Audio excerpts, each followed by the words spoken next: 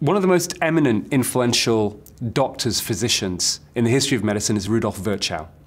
Rudolf Virchow was a German physician. He's considered the father of modern pathology. He coined um, terms like leukemia.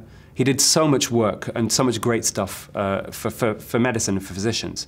But he said medicine is a social science, it's a science of human beings, and therefore doctors really need to think around the externalities of what affects individual people's health. You know, disease is rarely biological, it's often social. And of course, with ultra-processed food now, which dominates the food environment, this is a real social problem, um, affecting people very adversely.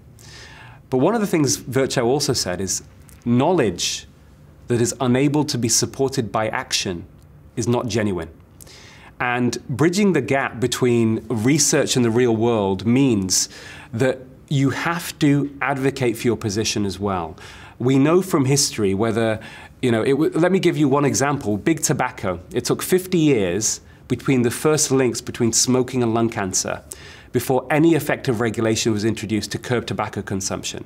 And the reason it took 50 years from the first science linking smoking and, and lung cancer to emerge before any effective regulation is because big tobacco adopted a, what I call a corporate playbook of dirty tricks, of denial, planting doubt, confusing the public, and even buying the loyalty of scientists.